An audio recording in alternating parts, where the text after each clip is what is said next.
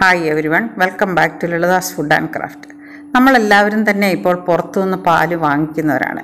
ആ പാൽ വാങ്ങിച്ച് ഉറയൊഴിച്ചാൽ കട്ട തൈര് കിട്ടുന്നില്ല വെള്ളം വിട്ട് കിടക്കുന്നതെന്നൊക്കെ എല്ലാവരും കംപ്ലൈന്റ് പറയാറുണ്ട്. എന്നാൽ കട്ട തൈര് ഉണ്ടാക്കാനായിട്ട് ഒരു ടിപ്പ് പറഞ്ഞുതരാം. അതെങ്ങനെയാണെന്ന് നമുക്കൊന്ന് നോക്കാം. ഇവിടെയൊക്കെ പാലുകാരൻ കൊണ്ടുവരുന്ന പാലാണ്. ആ പാൽ ഞാൻ കാച്ചി തണുപ്പിച്ച് വെച്ചിരുന്നതാണ്. ഫുൾ ക്രീം മിൽക്കാണ് എപ്പോഴും പാലുറയൊഴിക്കാൻ നല്ലത്. പക്ഷെ എല്ലാവർക്കും ഫുൾ ക്രീം മിൽക്ക് കിട്ടണമെന്നില്ലല്ലോ. ഈ പാൽ കൊണ്ട് നമുക്ക് എങ്ങനെ നല്ല കട്ട തൈര് ഉണ്ടാക്കാമെന്നാണ് നമ്മൾ കാണാൻ പോകുന്നത്.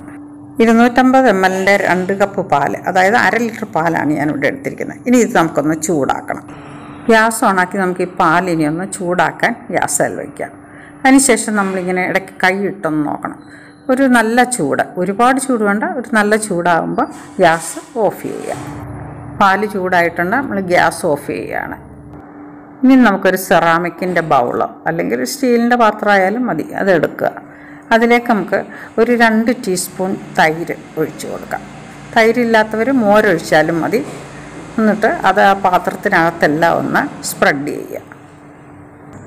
പ്ലാസ്റ്റിക് പാത്രങ്ങളിൽ കഴിവതും തൈര് കുറേ ഒഴിക്കാതിരിക്കുക.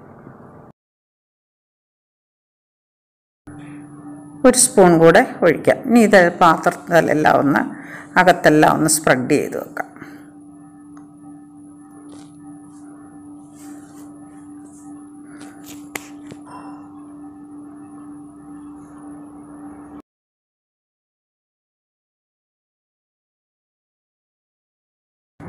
ഇനി നമുക്കൊരു ചെറിയ ബൗളിലേക്ക് ഒരു കപ്പ് പാലിന് ഒരു ടീസ്പൂൺ എന്ന കണക്കിന് രണ്ട് ടീസ്പൂൺ മിൽക്ക് പൗഡർ. ഏത് മിൽക്ക് പൗഡർ ആയാലും കുഴപ്പമില്ല. അതൊരു ബൗളിലാക്കി അതിനകത്തേക്ക് രണ്ടോ മൂന്നോ സ്പൂൺ പാലൊഴിച്ചൊന്ന് കലക്കിയെടുക്കാം. നന്നായിട്ട് മിക്സ് ചെയ്തതിന് ശേഷം നമ്മൾ ഈ ചൂടാക്കിയിരിക്കുന്ന പാലിലേക്ക് നമുക്കിത് ഒഴിച്ചു കൊടുക്കാം. ഒഴിച്ചു കൊടുത്തിട്ട് നന്നായിട്ട് ഇളക്കി യോജിപ്പിക്കാം.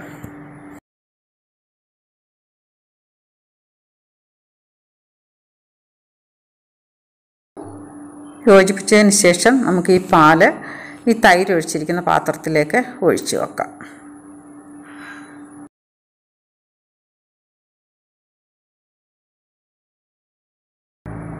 ഇനി ഇതൊന്ന് നല്ലതായിട്ട് ഇളക്കി മിക്സ് ചെയ്ത് യോജിപ്പിച്ച് വെക്കാം.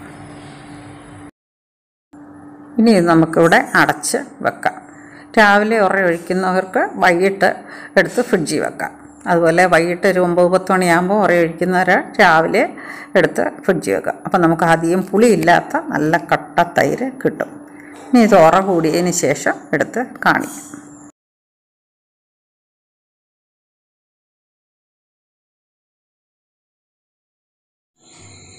നമുക്കിത് അടച്ചു വെക്കാം.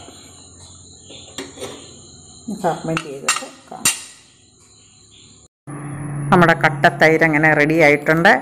സ്പൂൺ കൊണ്ട് നമുക്ക് ഇതിങ്ങനെ പൂളിയെടുക്കാം. കണ്ടോ?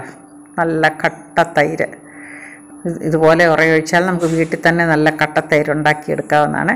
അതുകൊണ്ട് എല്ലാവരും ട്രൈ ചെയ്യുക. എല്ലാവരും ഇഷ്ടമായാൽ ലൈക്ക് ചെയ്യുക ഷെയർ ചെയ്യുക. ആദ്യമായി കാണുന്നവർ സബ്സ്ക്രൈബ് ചെയ്യുക. ഓൾ എന്ന ബെല്ലൈക്കൺ എനേബിൾ ചെയ്യുക. അതുപോലെ കമന്റ് ബോക്സിൽ ഫീഡ്ബാക്ക് അറിയിക്കുക. അപ്പോൾ ഇനി പുതിയ നല്ല വീഡിയോസുമായി വരുന്നത് വരെ എല്ലാവർക്കും ബായ്